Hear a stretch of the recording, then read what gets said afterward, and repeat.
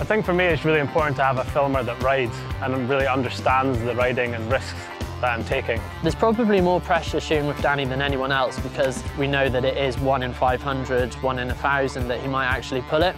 So there's not really an opportunity to say, sorry, Danny, we messed up the shot, can you do it again?